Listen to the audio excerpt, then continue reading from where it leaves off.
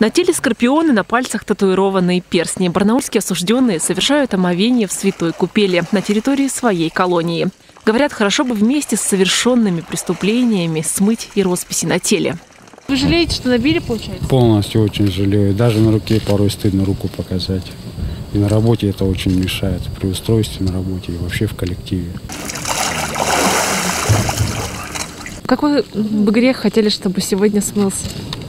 Да все, которые я совершил. Какой самый, наверное?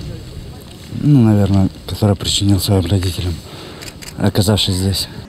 На улице минус 18, мороз немного кусается. Впрочем, для крещения это совсем не холодно. И благослови достояние Твое. Вот сейчас э, купание крещенское носит такого э, характера развлечения. Можно ли говорить о том, что здесь в заточении люди более серьезно к этому относятся, чем на, на свободе? 511 человек находится в Рио-1. А сколько мы сегодня видели здесь?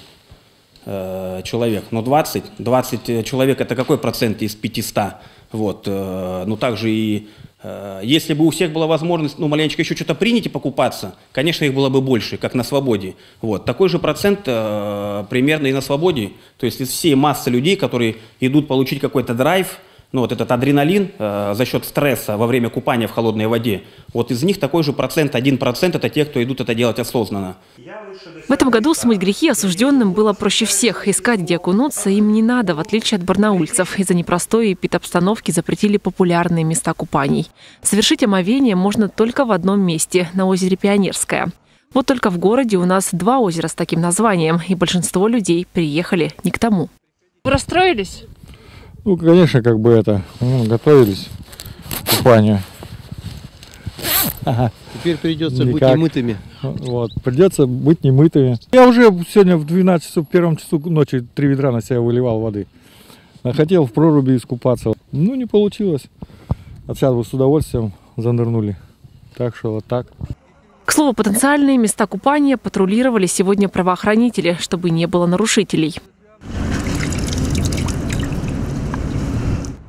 Речной вокзал, крещенский городок без купели как будто осиротел. На льду не должно быть больше 60 человек, но сегодня едва наберется десяток. Пришли умыться и набрать святой воды. Купаюсь уже восьмой год. Вот, ну вот в этом году видите как, вот хоть умыться пришли. Жалко очень, что нету, конечно, купели. Как вы думаете, ну это действительно такие вынужденные меры, что купель Ну, не я разрешена? думаю, что нет, это не вынужденные. Все-таки надо было сделать. Все-таки это праздник, это праздник. Сегодня пришли водичку набрать. Э, Каждый год это делаете? Ой, обязательно пунктик ходить за водичкой только сюда. Не признаю ни из крана, ни в церкви, хожу только сюда. Она целебная?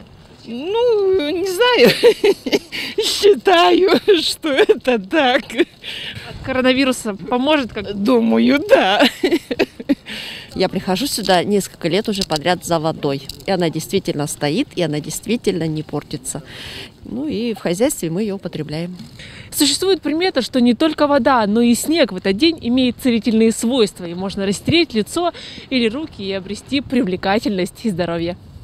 К слову, набрать воды можно и на Свято-Никольском источнике. Проезд канатный 75. Ну а если душа и тело все же просит купания, окунуться в воду можно на озере Пионерское в районе Булыгина. Валентина Аскерова, Дмитрий Денисов. День с толком.